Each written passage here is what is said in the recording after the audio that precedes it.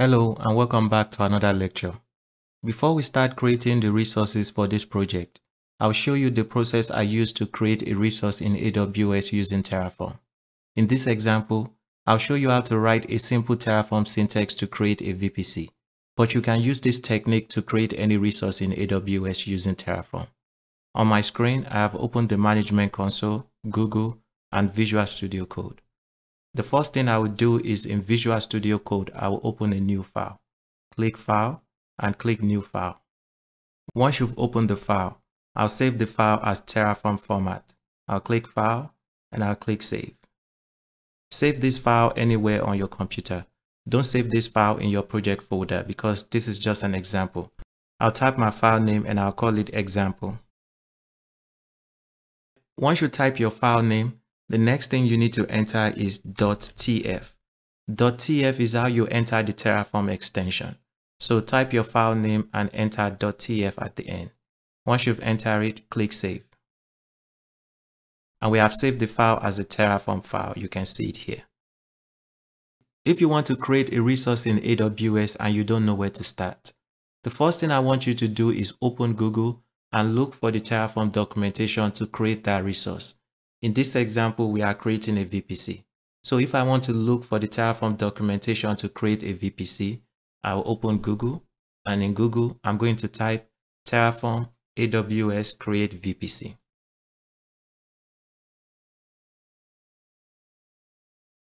This is what I would type in the search box. We are looking for the Terraform documentation to create a VPC in AWS. So for example, if you want to create an internet gateway, you can type Terraform AWS create internet gateway. If you want to create an application load balancer, you can type Terraform AWS create application load balancer. So once you type Terraform AWS create VPC, press enter. Under your Google search results, look for the result that has registry.terraform.io and under that result you will see AWS underscore the name of the resource you are trying to create. So in this case, I'm trying to create a VPC. I see AWS underscore VPC. This is the documentation I'm looking for. I'm going to click it. And this will take you to the Terraform documentation to create a VPC. If you scroll down on this documentation, one thing I like about the Terraform documentation is they always give you the basic syntax to create a resource. Here we can see the basic syntax to create a VPC with tag. I like this so I'm just going to copy it and paste it in Visual Studio Code as a starting point. Another thing I want to explain is to create any resource in AWS using Terraform, your syntax always starts with resource. Then you will specify the resource type. The resource type is how Terraform knows the type of resource you are trying to create. It is provided by Terraform and it doesn't change. If you want to create a VPC, there is a resource type to create a VPC. If you want to create an internet gateway, there is a resource type to create an internet gateway. If you want to create an application load balancer, there is a resource type to create an application load balancer.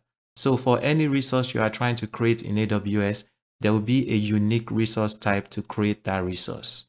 Once you have entered your resource type, the next thing you are going to enter is your local resource name, and it is this one.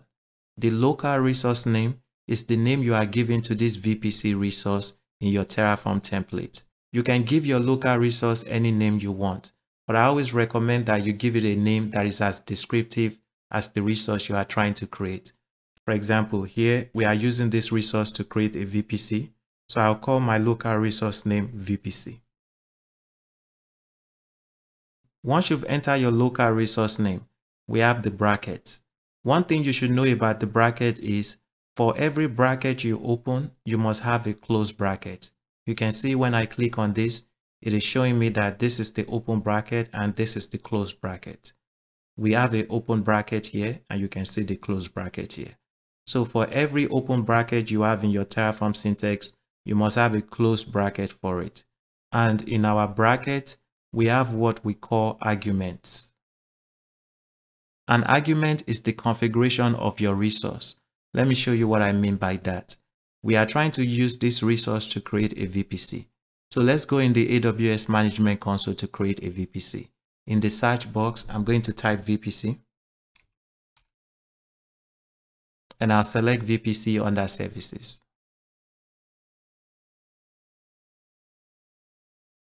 On the VPC dashboard, I'll select your VPC and I'll click create VPC.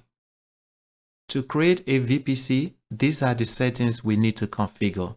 These settings you see in the management console are equivalent to the arguments you see in Terraform. Let's look at it. To create a VPC in the management console, you have to specify a name tag.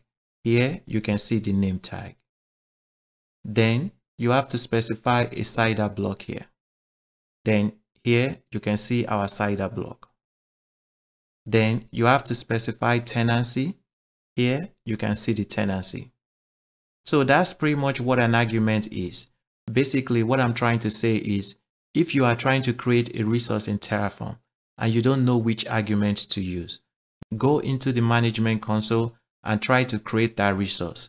Whatever settings you see in the management console to create that resource, come into Terraform and look for the arguments that correspond to the settings. The Terraform documentation does not list all the arguments here. They just give you just a few.